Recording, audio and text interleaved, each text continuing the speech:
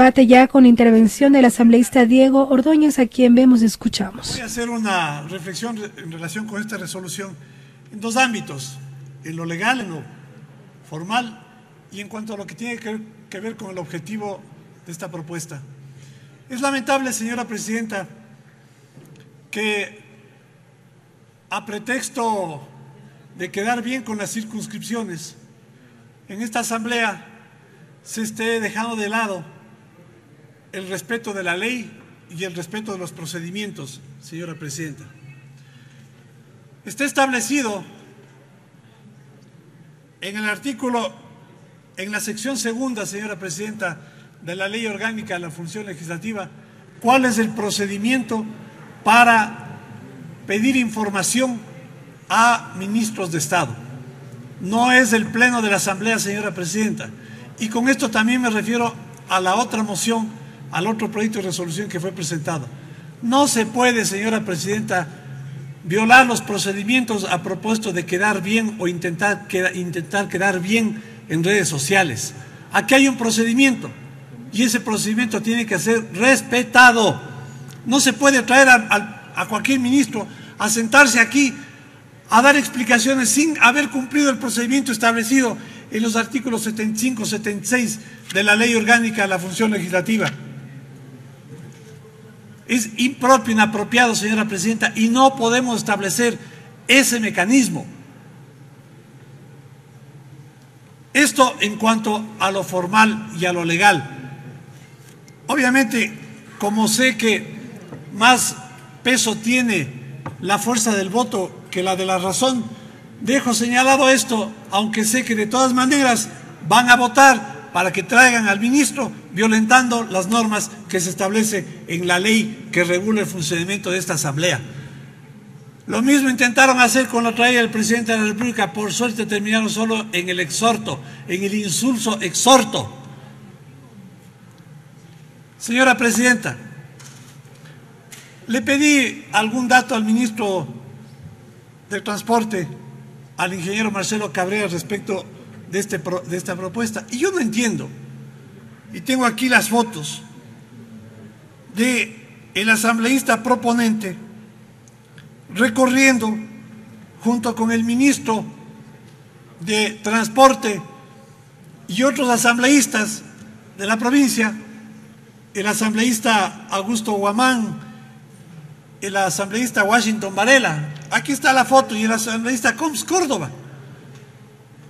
Él, ha estado con el ministro. Él sabe lo que se está haciendo. Han estado tres veces.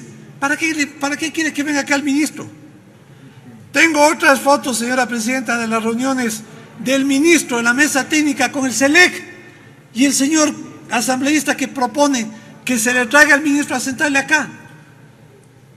Si él sabe, está informado, conocen qué es lo que está haciendo el ministro. Hay una mesa técnica que se está reuniendo precisamente en esta asamblea e insisten en el show, en la pérdida de tiempo. En la pérdida de tiempo, señora presidenta. Hace poco, hace un rato, señora presidenta, el presidente de la Comisión de Fiscalización junto con otros miembros de la comisión, han presentado ante la Fiscalía un informe revelador, un informe escandaloso.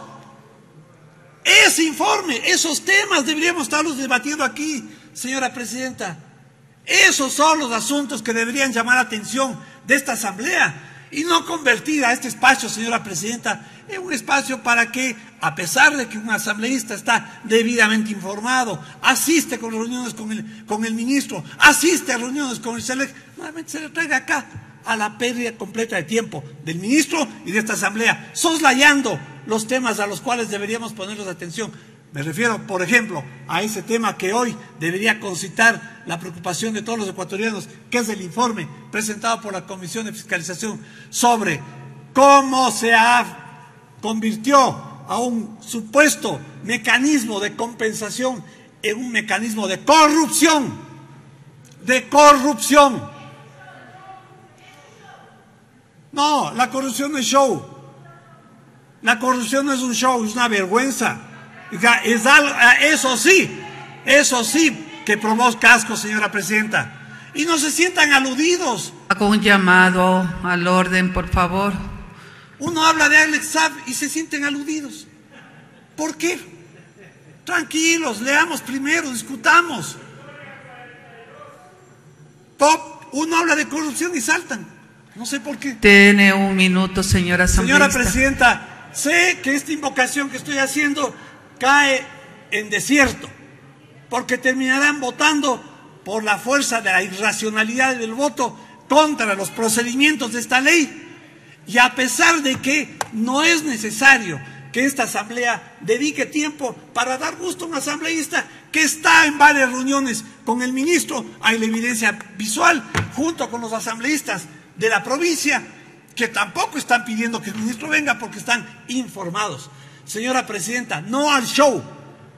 Dediquémosle tiempo a los asuntos que demandan atención y que contribuyen, por lo menos, a mostrar una asamblea que le dedica tiempo a lo importante y no a lo irrelevante. Gracias, señora Presidenta.